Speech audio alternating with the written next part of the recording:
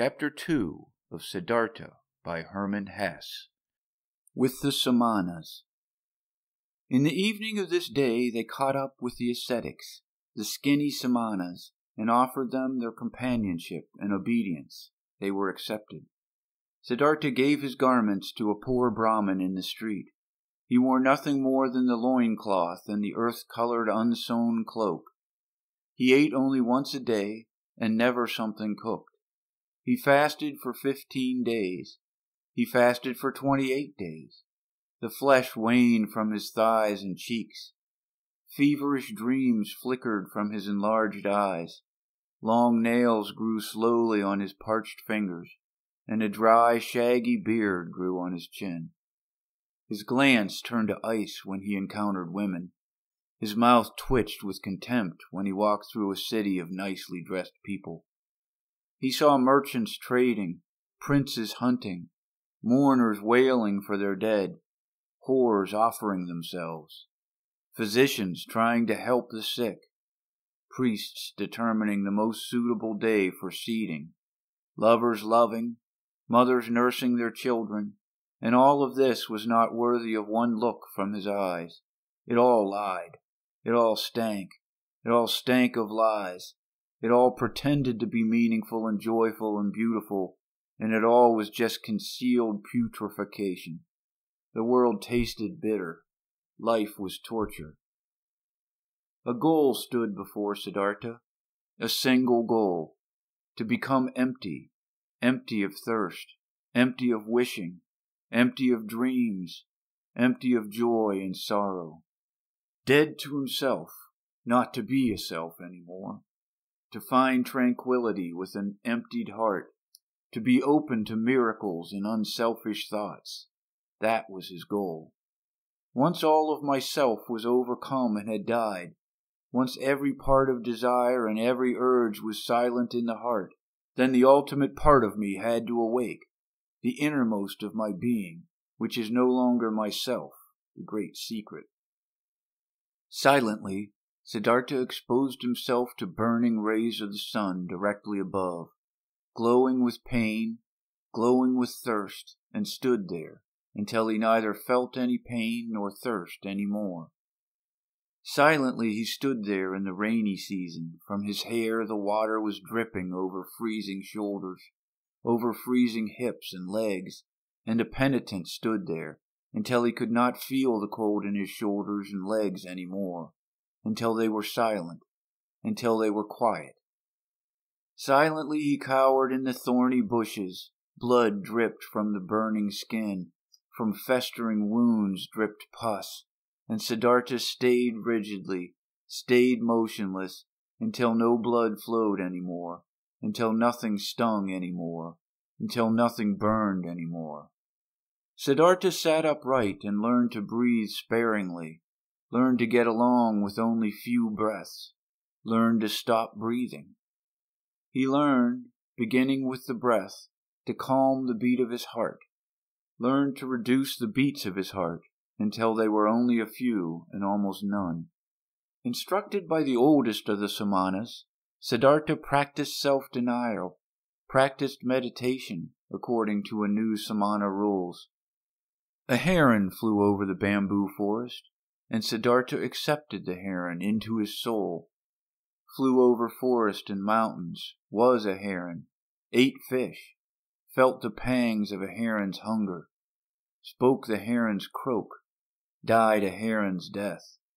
The dead jackal was lying on the sandy bank, and Siddhartha's soul slipped inside the body, was the dead jackal, lay on the banks, got bloated, stank, decayed, was dismembered by hyenas, was skinned by vultures, turned into a skeleton, turned to dust, was blown across the fields.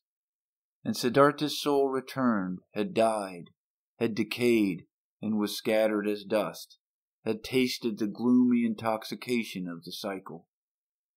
Awaited a new thirst like a hunter in the gap, where he could escape from the cycle, where the end of the causes, where an eternity without suffering began.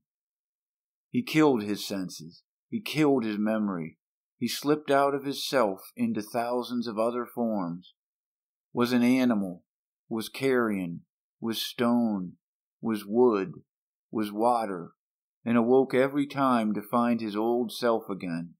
Sun shone or moon was his self again, turned round in the cycle, felt thirst, overcame the thirst, felt new thirst. Siddhartha learned a lot when he was with the Samanas. Many ways leading away from the self he learned to go. He went the way of self denial by means of pain, through voluntarily suffering and overcoming pain, hunger, thirst, and tiredness. He went the way of self denial by means of meditation, through imagining the mind to be void of all conceptions. These and other ways he learned to go. A thousand times he left his self. For hours and days he remained in this non self. But though the ways led away from the self, their end nevertheless always led back to the self. Though Siddhartha fled from the self a thousand times, he stayed in nothingness, stayed in the animal, in the stone. The return was inevitable. Inescapable was the hour when he found himself back in the sunshine or in the moonlight, in the shade or in the rain, and was once again his self and Siddhartha, and once again felt the agony of the cycle which had been forced upon him. By his side lived Govinda, his shadow, walked the same paths, undertook the same efforts. They rarely spoke to one another than the service and the exercises required. Occasionally the two of them went through the villages to beg for food for themselves and their teachers.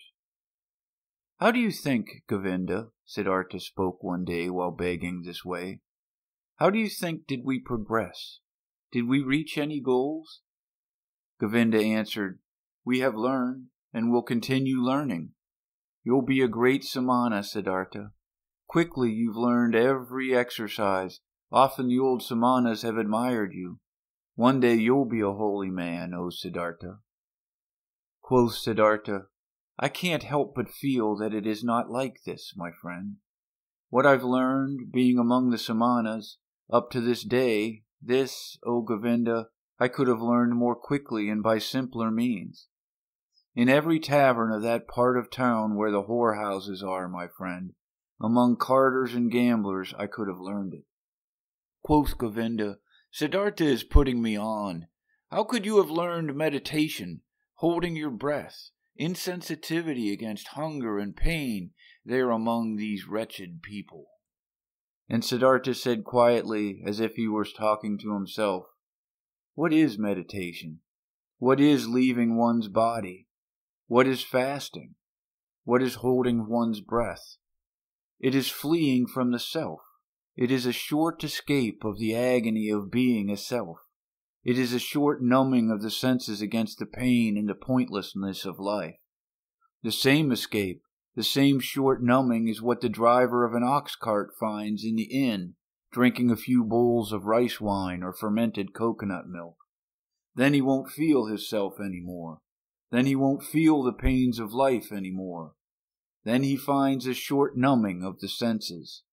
When he falls asleep over his bowl of rice wine, he'll find the same what Siddhartha and Govinda find when they escape their bodies through long exercises, staying in the non-self. This is how it is, O Govinda. Quoth Govinda, You say so, O friend, and yet you know that Siddhartha is no driver of an ox cart and a samana is no drunkard. It's true that a drinker numbs his senses. It's true that he briefly escapes and rests. But he'll return from the delusion, finds everything to be unchanged, has not become wiser, has gathered no enlightenment, has not risen several steps. And Siddhartha spoke with a smile. I do not know. I've never been a drunkard but that I, Siddhartha, find only a short numbing of the senses in my exercises and meditations, and that I am just as far removed from wisdom, from salvation as a child in the mother's womb. This I know, O Govinda, this I know. And once again, another time, when Siddhartha left the forest together with Govinda to beg for some food in the village for their brothers and teachers, Siddhartha began to speak and said, What now, O Govinda? Might we be on the right path? Might we get closer to enlightenment? Might we get closer to salvation? Or do we perhaps live in a circle, we who have thought we were escaping the cycle? Quoth Govinda, We have learned a lot, Siddhartha. There is still much to learn. We are not going around in circles, we are moving up. The circle is a spiral. We have already ascended many a level.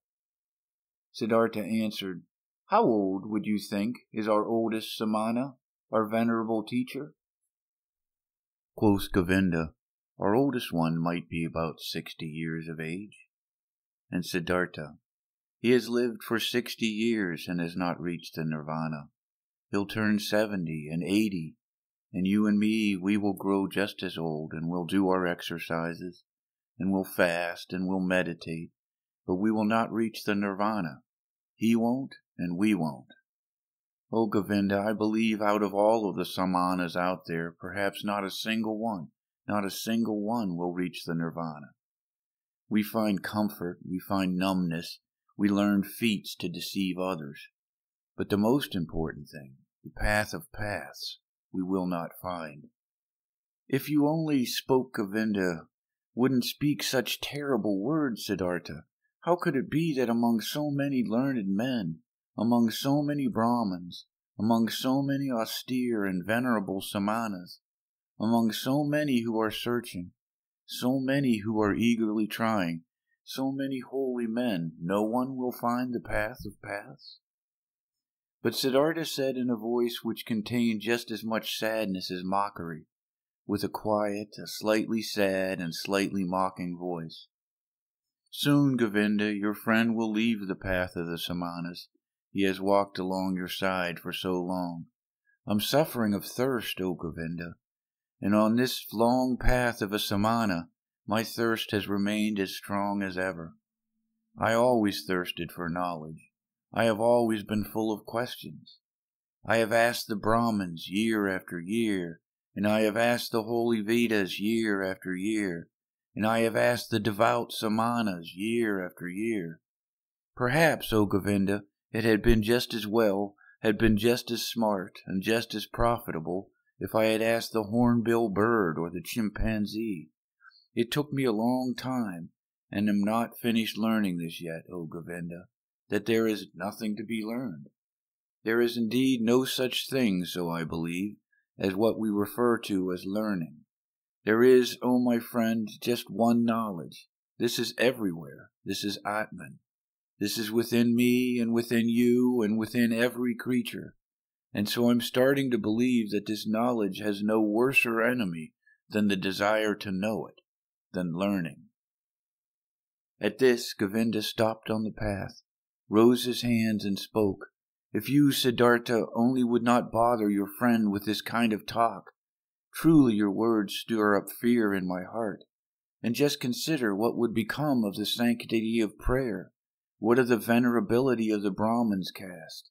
What of the holiness of the Samanas? If it was, as you say, if there was no learning?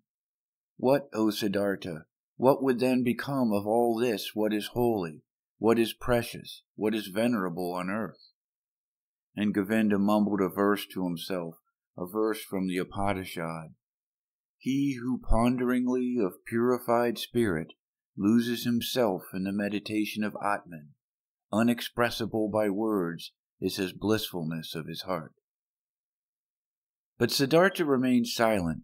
He thought about the words which Govinda had said to him, and thought the words through to their end.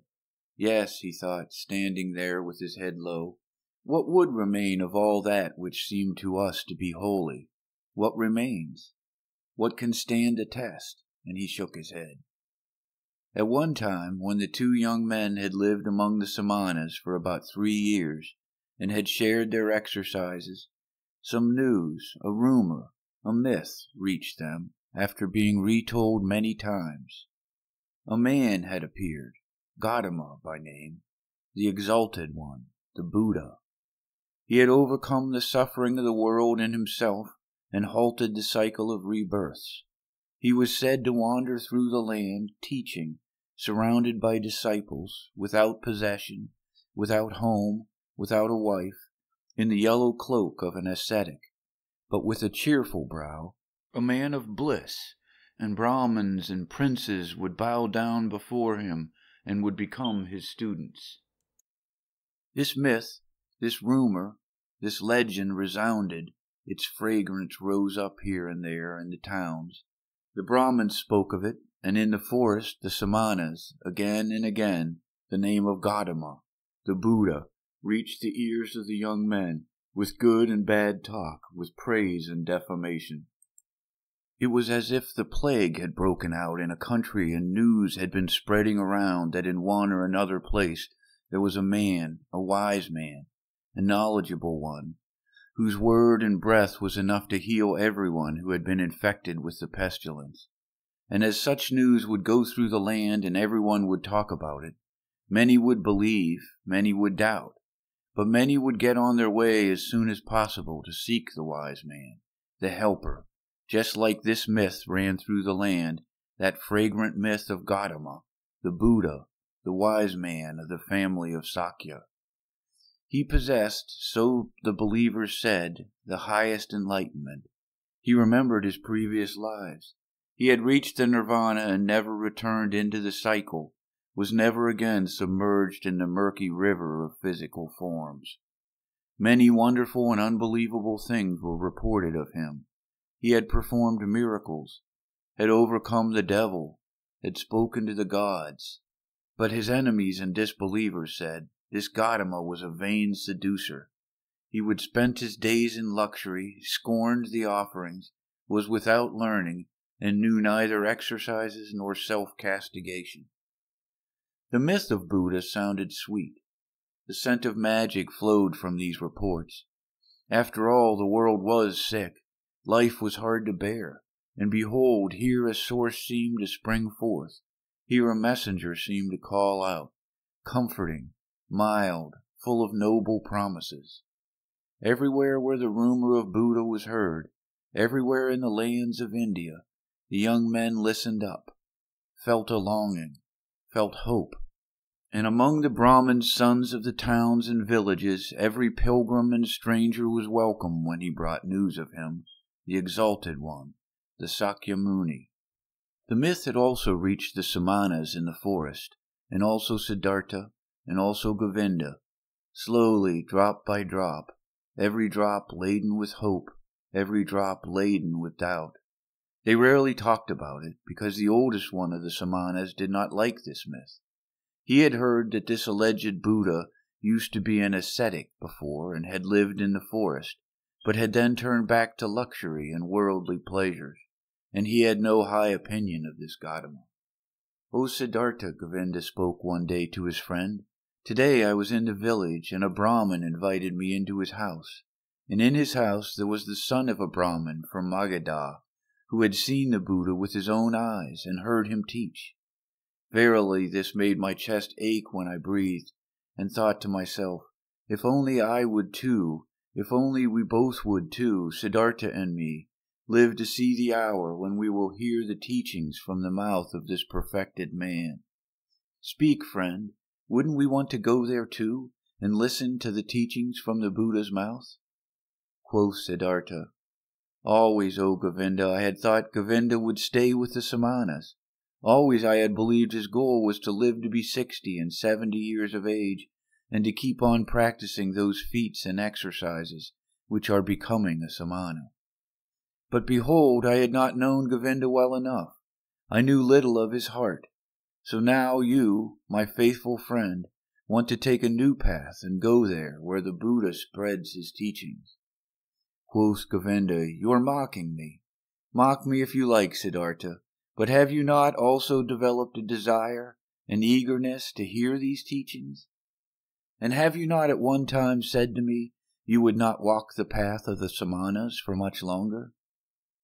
At this, Siddhartha laughed in his very own manner in which his voice assumed a touch of sadness and a touch of mockery, and said, Well, Govinda, you've spoken well, you've remembered correctly. If you only remembered the other thing as well you've heard from me, which is that I have grown distrustful and tired against teachings and learnings, and that my faith in words which are brought to us by teachers is small. But let's do it, my dear. I am willing to listen to those teachings, though in my heart I believe that we've already tasted the best fruit of these teachings. Quoth Govinda, Your willingness delights my heart. But tell me, how should this be possible? How should the Gotama's teaching, even before we have heard them, have already revealed their best fruit to us? Quoth Siddhartha, Let us eat this fruit and wait for the rest, O Govinda. But this fruit, which we already now received thanks to the Gotama, consisted in him calling us away from the Samanas. Whether he has also other and better things to give us, O friend, let us await with calm hearts. On this very same day, Siddhartha informed the oldest one of the Samanas of his decision that he wanted to leave him. He informed the oldest one with all the courtesy and modesty becoming to a younger one and a student. But the Samana became angry because the two young men wanted to leave him and talked loudly and used crude swear words. Govinda was startled and became embarrassed. But Siddhartha put his mouth close to Govinda's ear and whispered to him, Now I want to show the old man that I've learned something from him. Positioning himself close in front of the samana with a concentrated soul, he captured the old man's glance with his glances, deprived him of his power, made him mute, took away his free will, subdued him under his own will, commanded him to do silently whatever he demanded him to do. The old man became mute, his eyes became motionless, his will was paralyzed. His arms were hanging down without power. He had fallen victim to Siddhartha's spell. But Siddhartha's thoughts brought the samana under their control. He had to carry out what they commanded. And thus the old man made several bows performed gestures of blessing, spoke stammeringly a godly wish for a good journey, and the young men returned the bows with thanks, returned the wish, went on their way with salutations. On the way, Govinda said, O Siddhartha, you have learned more from the Samanas than I knew. It is hard, it is very hard to cast a spell on an old Samana. Truly, if you had stayed there, you would soon have learned to walk on water. I do not seek to walk on water, said Siddhartha. Let old Samanas be content with such feats. End of chapter 2